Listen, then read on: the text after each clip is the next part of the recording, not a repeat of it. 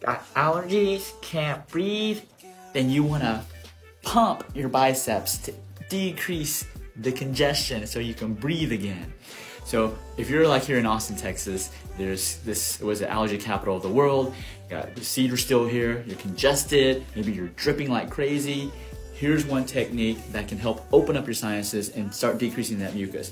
You're gonna pump your flex your biceps, and you see how your bicep comes like this, and then you're gonna draw a line that goes to, you know, draw like the end of your bicep. You're gonna draw a line here. And you're gonna feel it's like the end of your deltoid. It's called the insertion. It's really tender. You're gonna push on that for 30 seconds, right? So you can push on both sides, and that's gonna target this area, your nose. These there are nerves here that are connected to your nose, and then when you press on it, you will instantly see either drippage clearing up or decrease of that sinus problems. All right, make sure you follow me here on TikTok. I've been suffering from COPD, and I read that uh, in prevention that acupuncture was one of the ways to get some of the more deleterious effects of COPD to, to go away. So I thought, well, you know, uh, I'm taking all these meds and all this, let's give it a whirl, you know.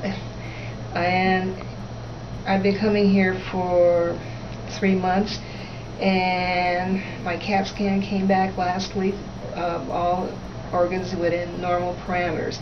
And so I would recommend yin uh, acupuncture to anybody who's suffering from allergies or COPD or even chronic pain.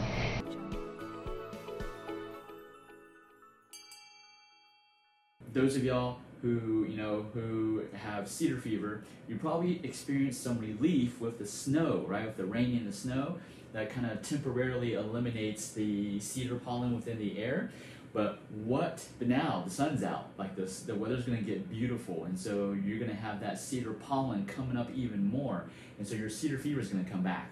So what are the things? Uh, last, I believe last week, last week I talked about some acupressure using our QRA acupressure um, to help alleviate some of your allergy symptoms, right? But what can you do to actually solve your cedar problem? And so one of the things I was talking to a patient today, actually, and so that's sti- that stimulated me to do this post today, is what are some things that you can do at home, dietary wise? What are some things that are actually making your cedar fever even worse? Okay. Now I'm not talking about you know people who are taking the steroids, taking the Nasonex, the uh, Allegra, the antihistamines, and you're kind of just masking your cedar, your, your cedar fever. Um, so, but for those of y'all who don't want to take those medications, or maybe you're taking those medications and you still have cedar fever, then you want to do some of these changes that you can do at home. So, what are those things? You want to decrease inflammatory foods. Okay, let me write that word. Inflammatory. These are these are inflammatory foods. You want to make sure you decrease them because they make your allergies worse, guaranteed.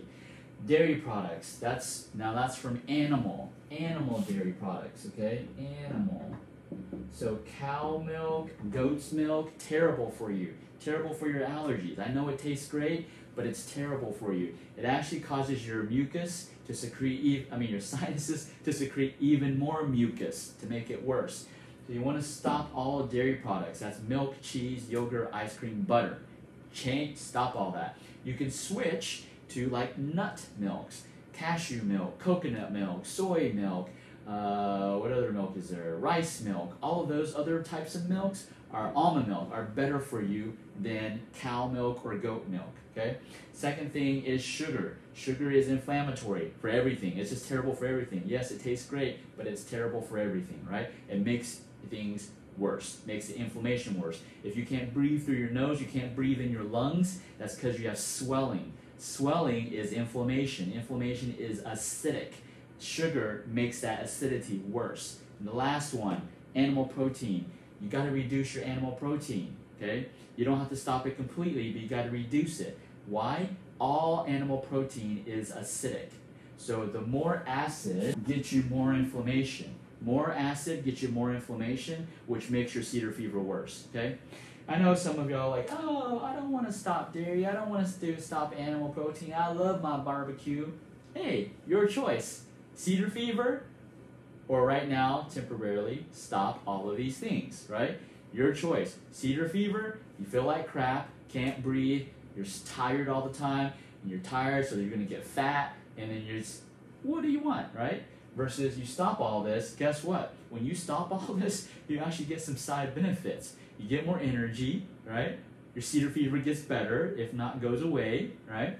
Uh, you might actually lose some weight because you're eating less sugar. All these things will make you gain weight, okay? I mean, not animal protein, uh, but dairy and sugar will make you gain weight. So if you decrease that, you might actually lose weight. So there's side benefits, right? But it's your choice. Now I'm not telling you what to do. I'm just saying, hey, this is what I told. This is what I, what we instruct our patients to do at Achieve Integrative Health um, to help them restore their organ function. And so, because we usually see the cases where people have allergies for years. Uh, they've done the medications, the over-counter medications. They've done the prescription medications, and it, it initially worked, but now it ain't working. And so now they're suffering, even though they're taking a shitload of drugs. Uh, they're still suffering, right? And so these are the things, simple things, not easy, but simple things you can do to re- help you reduce your cedar fever. All right, guys, this is Jimmy Yan from Achieve Integrative Health. Um, as always, everything in life is achievable, but it's up to you